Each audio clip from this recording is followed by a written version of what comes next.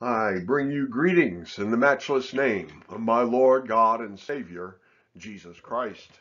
This is Reverend Bob Lico bringing a presentation today about the celebration, if you can call it a celebration. Certainly the penitential season of Lent is fast coming upon us. March 2nd, I believe, uh, is the official kickoff day. And coming out of the Missouri Synod Lutheran Church, I and, and very high confessional, in fact, the highest confessional Lutheran church in America, Zion Detroit, was where we cut our rubrical Lutheran teeth, if you will. Uh, and I've always been associated with the confessional aspect of the LCMS, unfortunately. In some ways, it's very good. In other ways, not so good at all. So I entitled this presentation, Lenten Lunacy or Divinely Led Denial. And it can be one or the other. And I would encourage you, if you like this presentation, please hit that like, share, and subscribe button. We have almost 100 videos up on the Honey Badger Bob YouTube channel on a wide variety of topics. And I think that they would benefit you, and I hope that they do, to the glory of our Lord God and Savior, Jesus the Christ. Well, the first thing we need to look at is, is the entire practice of Lent a biblical practice? Do we find a Lenten penitential period of time expressly taught or even indirectly implied from Genesis to the book of the Revelation of Jesus Christ? The answer to that is very simple no. The practice of Lenten fasting, and I underline Lenten fasting, is not found in either the Old or New Covenants. It is not a biblical doctrine of the church. Now let me unpack this a minute. I said that Lenten fasting is not found in either the Old or New Covenants. Fasting most assuredly is.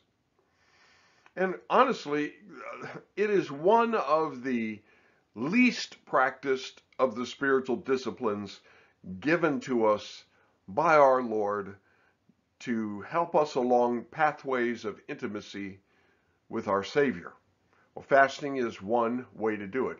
In fact, our Lord said in the Gospels, not if you fast, but when you fast.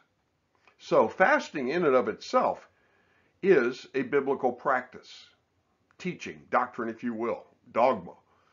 But we are really never given, most assuredly in the New Testament, any direction as to when or for how long. There are a few things said, but there certainly is nothing demanding a week-long fast, a three-day fast, a seven-day fast, a 40-day fast. And I come from a practice within the charismatic movement, our congregation in Detroit, Jubilee Christian Church, had as a practice at the beginning of the new year to fast for the month. 30 days. And we would. And uh, most of the people fasted for the full 30 days. Now, this was not a complete total fast. We were uh, enjoined to have soup at dinner, but we fasted breakfast and lunch, had very little, if anything, to eat at dinner, and we met and prayed. Um, so fasting is a biblical practice, and as God leads you, obey his leading. But it's not a biblical doctrine. Now, that's the next point we need to unpack. I said that it is not a biblical doctrine of the church.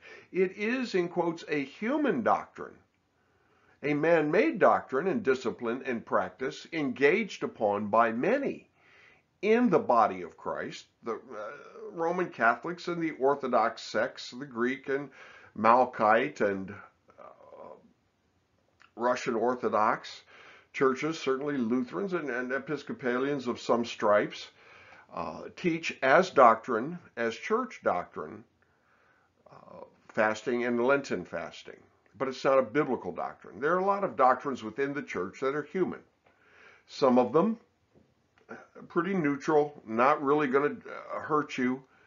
Many others rather harmful and will take you further from Christ. But my point here is very simply this. Is Lent a biblical practice? No. Moving on. Well, then, what is the origin of Lent? If it's not found in the Bible, honey badger, it's not found in the book of Acts, it's not found in the writings of, of the writing apostles, Paul and James and Peter. Well, no, no, it's not found in the Bible. We've established that. Well, let me read what Christianity Today from their history segment has to, and this is a generally, if you look up Lent and you look up the definition, you look up the history, uh, virtually everybody agrees with this. This is pretty much a standard, non-nuanced history, and I'll read. In 325, 325 years after the establishment of the visible church on earth, three centuries later, the Council of Nicaea discussed a 40-day Lenten season of fasting. But it's unclear whether its original intent was just for new Christians preparing for baptism, but it soon encompassed the whole church. How exactly the churches counted those 40 days varied depending on location. In the East, one only fasted on weekdays. The Western Church's Lent was one week shorter, but included Saturdays. In both places, the observance was both strict and serious. I highlighted that. Whether you were um, Western branch Christian, Eastern branch, the observance was both strict and serious. Only one meat was taken a day near the evening. There was to be no meat, fish, or animal products eaten. I'm sorry, only one meal was taken a, a day near the evening. There was to be no meat, fish, or animal products eaten. ChristianityToday.com. So we see that Lent did not even come into being regularly practiced by the entire church for over 300 years, much like the man-made and false doctrine of infant baptism. It also did not come into the church for several hundred years. And recent history and archaeology is proving that it came into the church really as a result of a horrible plague and the Greek believers didn't know what was going to happen to their babies. They forgot what Paul said, and so they began that demonic practice.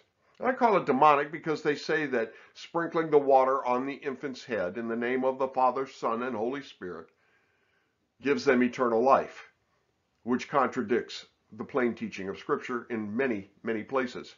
Even Luther knew better, but he taught falsely in this area. So it's a man-made doctrine, comes into the church 325 years later. Fine. Nothing wrong with fasting again. But it was unclear about the original intent because you see, originally, new converts prepared, they were catechized for a year, and then on Easter, uh, I believe, Easter Sunday or that Saturday night, I'm not sure, but they were baptized then. They were baptized in the nude and, if possible, in running water. That was the formula for hundreds of years in the church. Well, actually, I, I take that back. I'm, I'm not speaking uh, correctly.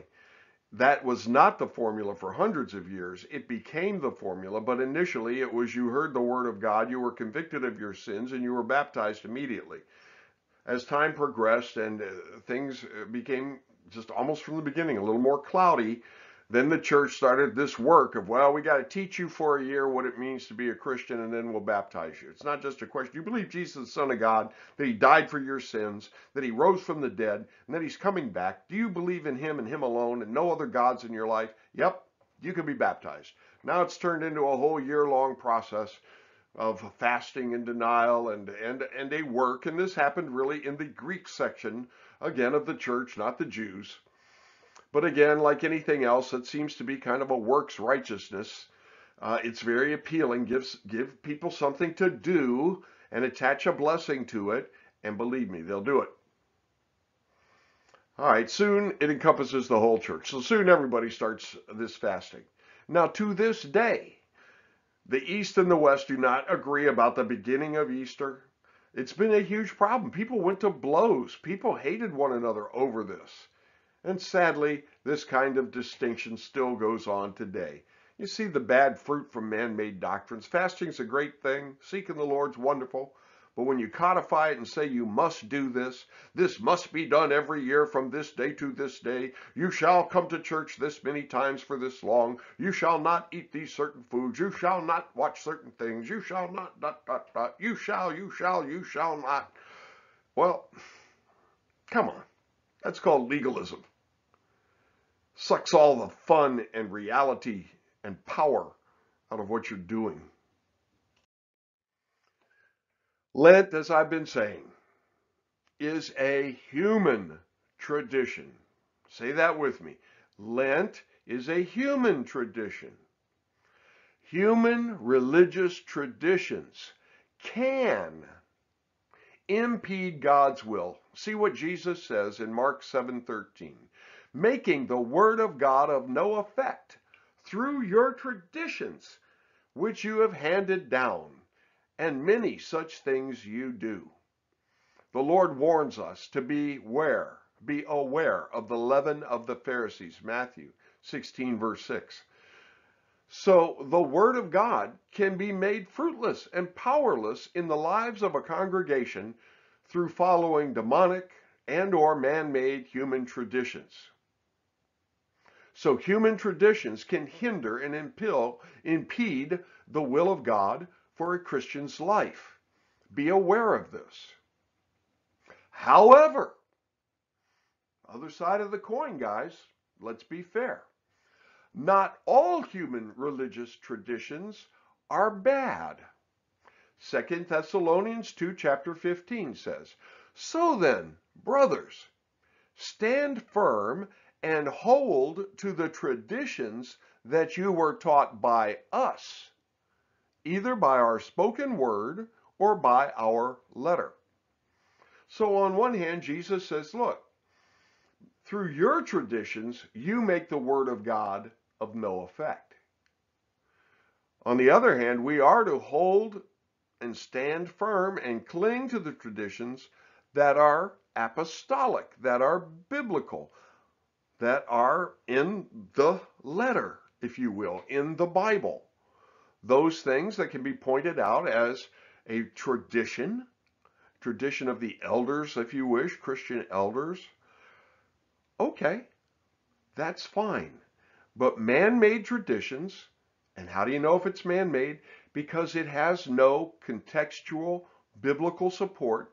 Maybe a couple texts are cherry-picked, taken out of their set and setting, and forced and crammed into this, and you're told, oh, well, this is what that means. I'll, I'll give you an example and we'll move on. Okay? Let's use infant baptism. There is not one text that shows an infant being baptized. Those who support infant baptism will say, well, it says here in Acts the entire household were baptized. Yes, it does. So what? Well, so there had to have been infants in the household after all. Where does it say that? We don't know that. We don't know that at all. We don't know how many people comprised this, that household they were talking of.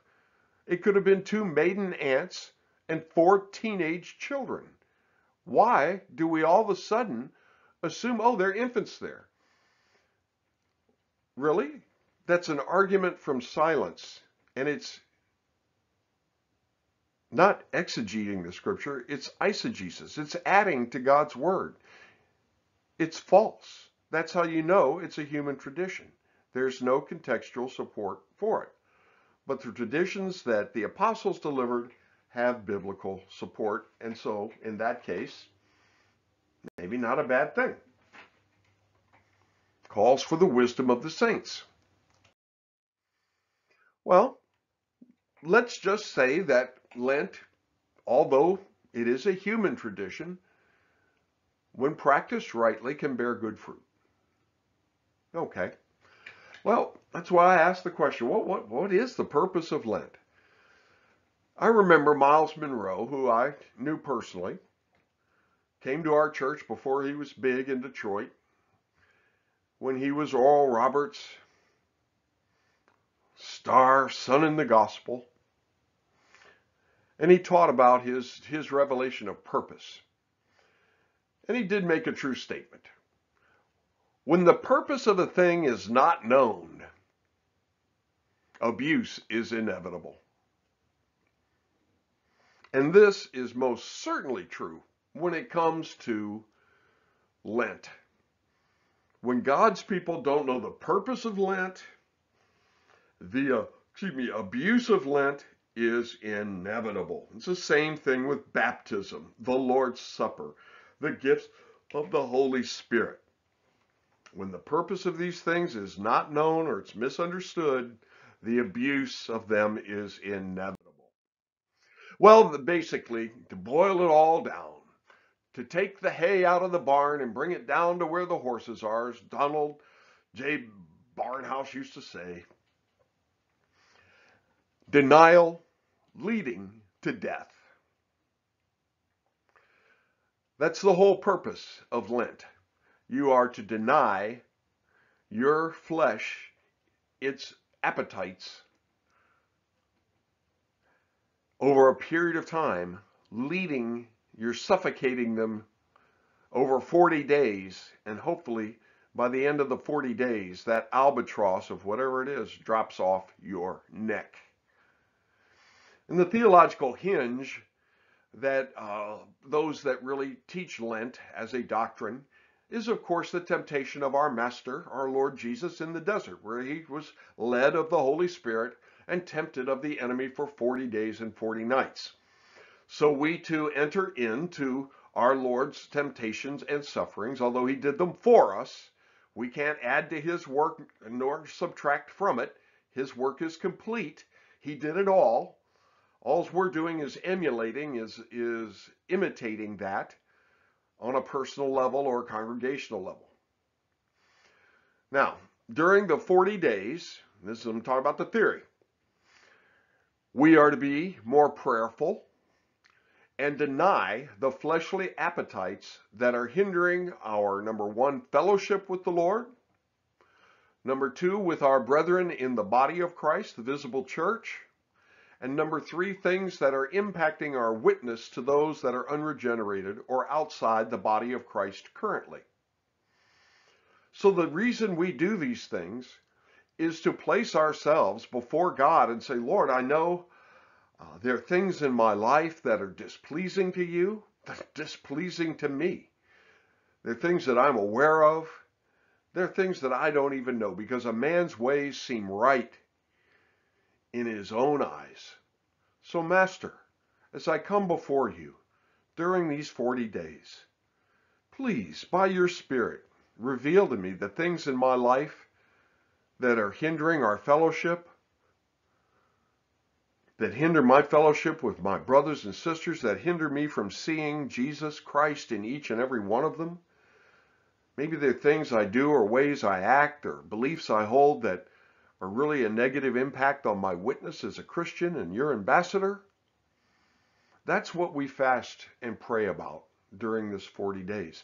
Hebrews chapter 12 verse 1 says this, Wherefore, seeing we are also encompassed about with so great a cloud of witnesses, here we go, let us lay aside every weight and the sin which doth so easily beset us, and let us run with patience the race that is set before us. So that's the purpose of Lent. It is the laying aside of every weight and sin which easily besets us. Is it anger? Is it gossip? Is it lust? Some of those really hideous things? It just be lukewarmness or a general lack of concern. It can be apathy. Well, those are weights. Seek the face of God during Lent to reveal them to you and ask for his grace to set you free from them. Our goal in Lent is seen in Galatians 2:20. I am crucified with Christ. Nevertheless, here I am. I'm still here on the earth. Yet not I. Oh, it looks like the honey badger. It may look like Tom, Dick, and Harry, but Christ liveth in me and in them. And the life which I now live in the flesh, I live by the faith of the Son of God, who loved me and gave himself for me. So yes, we are to lay aside, deny every weight in the sin. Lead, let that work work in us. And Your flesh will cry out. But as we discipline ourselves and say no to our flesh, those desires will eventually die and go away, and we will have victory in that area of our lives. There are so many things I could begin to list that our Lord Jesus has completely delivered me from. Things that you can throw in front of me that will never be an issue in my life ever, ever again. Why? Because I died completely to them by His grace and through applying His Word. Now, there are many other areas that I have yet to die to, that I struggle with daily, and I will have things to deal with and struggle with until the day I take my last breath, and so will you. But nonetheless, we fight the good fight, and it's a good fight because we win in Christ Jesus. Now, why 40 days? Well, again, we look at Jesus, and 40 is an, it's a very important number in the Bible. 40 years, 40 days. Moses went up with the Lord 40 days. We have these events. So 40 is a good number in the eyes of God. Now, here's some interesting scientific news. According to some reports, and there are many on Google, it takes approximately 40 days of repeated actions to become habitual whether something is good or bad. That's how habits are formed. You continue to do the same thing in the same way, day after day, maybe at the same time, and it becomes somewhat ingrained in us. It's just what we do, just how we operate. And these can be very good things, or they can be very bad and harmful and uh, things that as are weights but it takes about 40 days. Lent, when consciously and purposefully observed, can be a tremendous boon by helping people form lasting spiritual disciplines. For instance, if you're like many Christians, too many of us, and you don't either read the Bible or hear the Bible on a daily basis, well, begin to do so during Lent. Say, Father, this is your love letter from heaven. It's all that I have regarding objective truth about you contained in these 66 books. It's all that I have to know about the Lord Jesus Christ and to know him and, and what he expects of me and how to walk in your ways. And begin to either hear or read your Bible Start at Genesis and continue for the 40 days. I can promise you, if you listen an hour a day in the morning and an hour at night, or that would work, an hour in the morning and an hour in the evening, you will get through Genesis through the Revelation in less than 40 days. So through Lent, you can hear the entire Bible. And then that becomes just what you do. You get up and every day you hear the Bible, or you get up every day and read the Bible. You get up every morning and pray. You get up and every morning, you know, whatever meditate on the Lord. Well, 40 days is about the time it takes to form a godly habit. Now, on the other hand, Lent can equally be, and often is, nothing more than a frivolous, quasi-spiritual exercise which is endured versus celebrated. I think the Fat Tuesday orgiastic indulgences right before Ash Wednesday demonstrate the hearts of many regarding Lent. Since Fat Tuesday is also a, in quotes, religious celebration. In other words, people go out, and you know this, the day before, you know, Fat Tuesday, everybody goes out, gets drunk, and tries to get laid.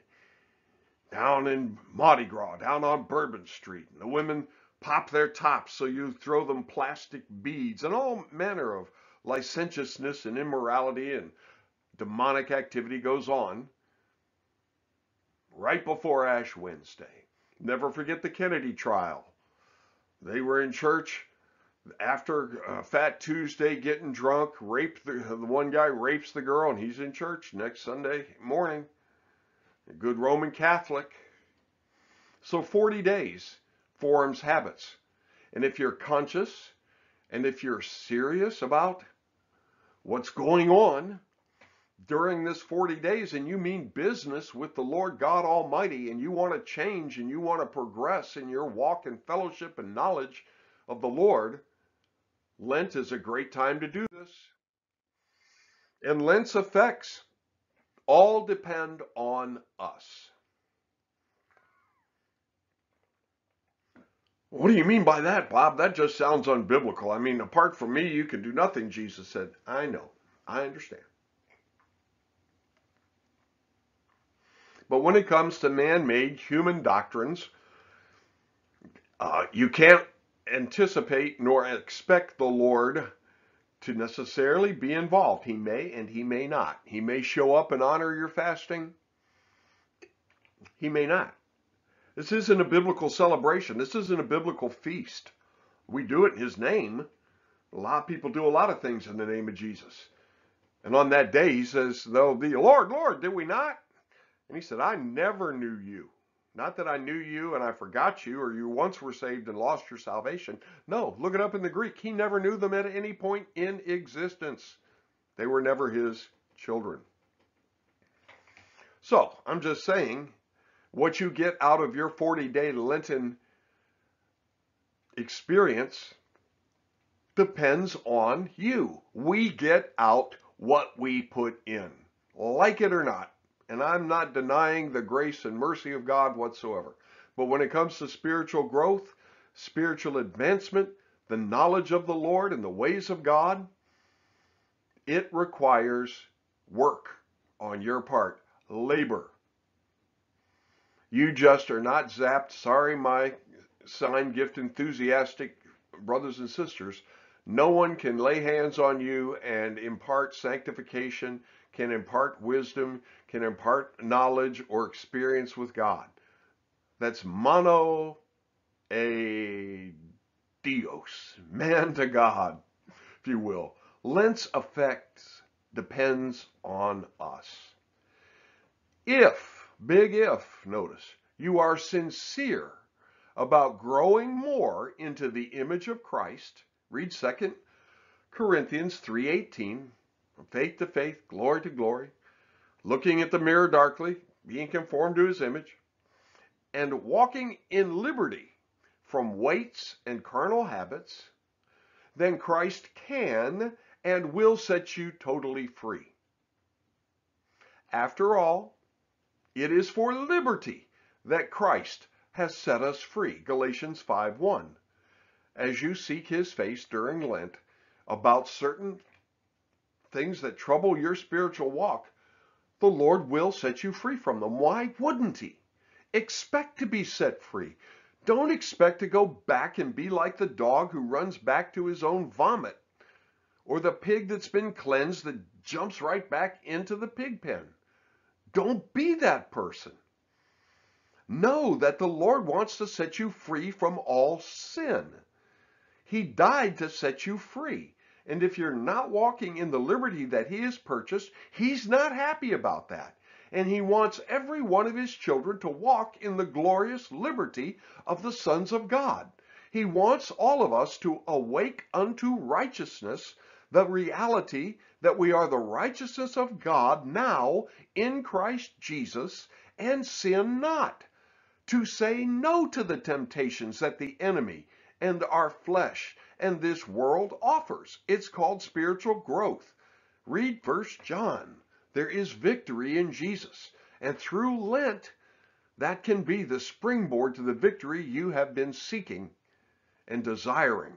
Because now you're serious. Now you're pushing yourself back from the table. Now you're coming before the Lord in prayer and saying, Father, deliver me from this. It sickens me. I'm sick of myself. I'm sick of this weight. I'm sick of it. I want it out of my life in the name of Jesus. And I'm willing to do whatever it takes, whatever changes, Lord, I've got to make, people I associate with, maybe the books I read, the programs I watch, what I do on the online, whatever. Whatever, God, whatever it takes. Reveal it to me by your Spirit. Grant me grace.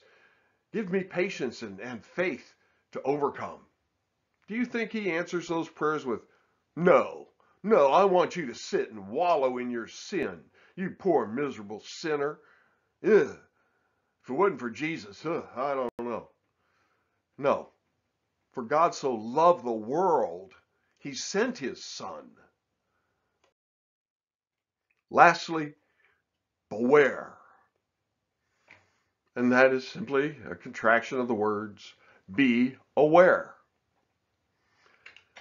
Lent can be the tremendous blessing I just spoke of. But Lent can also devolve, and it has in many cases and places, into a fleshly activity.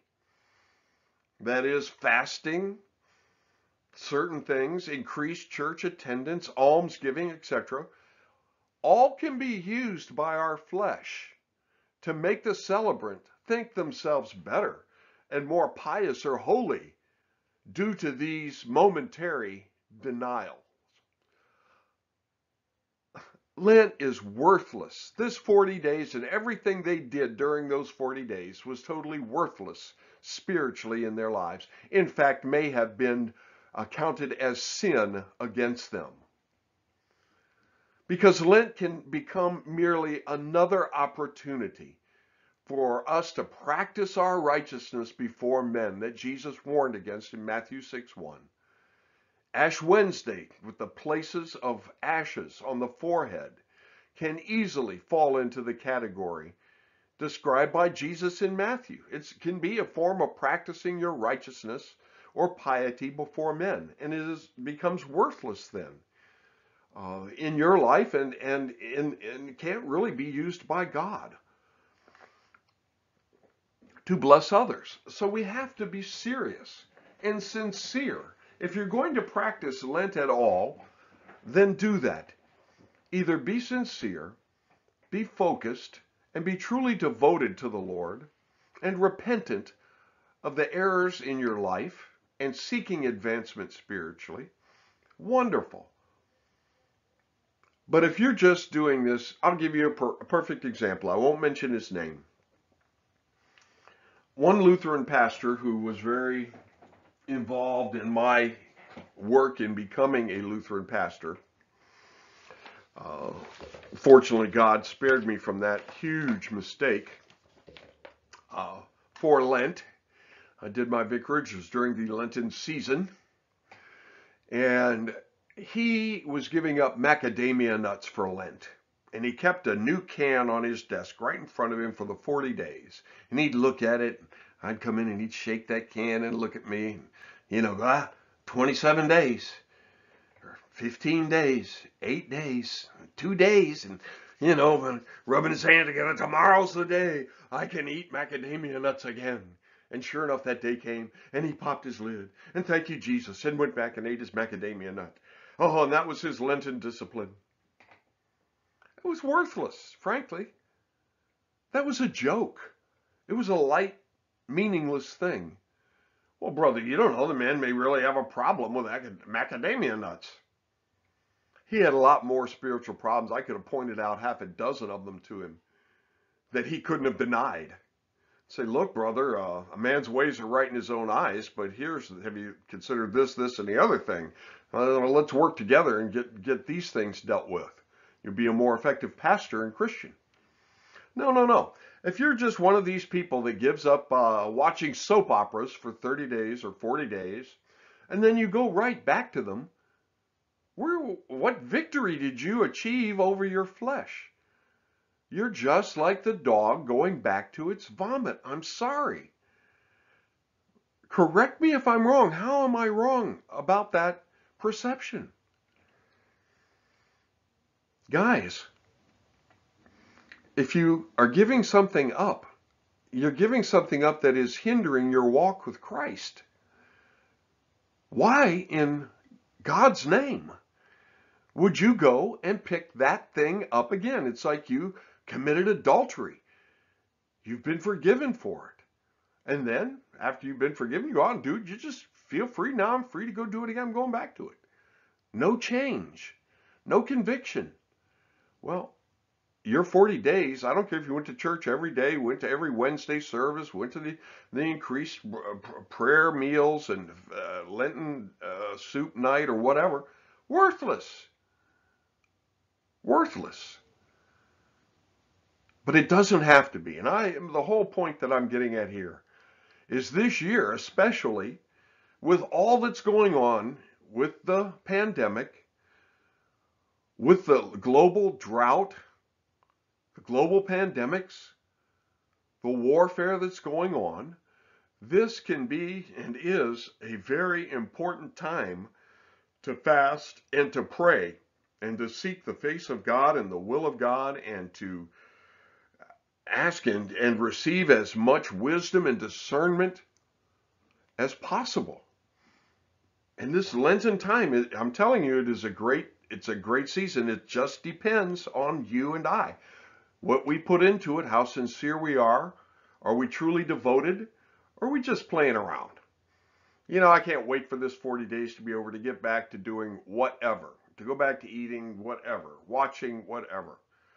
Well, those people really aren't are out of touch. They, they're very unaware of any besetting sin in their life, and, and perhaps they don't have any. I'm not saying that we're all just walking around with tons of garbage on us. We're not. Jesus gives us victory. But all of us can grow. There's room for improvement. None of us are sinless or sin free. So we all can improve, and there are things that we can sharpen and grow in, and we should. And I believe that the church, even through a man made practice, has given us 40 days where the church opens its doors and, and encourages the children of God to draw near in prayer and in worship and in denial. Those are all godly things. They're all biblical practices. They're all rolled up into this 40 day penitential season. And yeah, there's some doctrinal garbage and doo doo that clings to it here and there. So what? Just don't be impacted by it. This really boils down on, on the main level between you and your Lord, first and foremost, and then you and the visible church on the secondary level. So be aware of the dangers that the enemy will try to get you to be uber pious because look at me, I successfully did my for yeah, you got victory over gossip, but pride sprung up. Now you got to deal with pride. You, you know, that's why I'm saying be aware. But also, don't rely on your own strength. Rely on the Holy Spirit. Rely on the fact that Jesus, our great high priest, wants us all to be victorious over each and every sin that besieges us, that is keeping us from Him, that is blocking our fellowship. The Lord wants to, to totally remove that from each and every one of our lives. And during Lent, I encourage us all to seek His face Find out what those areas are, and by His grace and through our faith in His promises, seek and receive the victory that is ours in Christ Jesus. Amen and amen. A blessed Lent to one and all who love our Lord.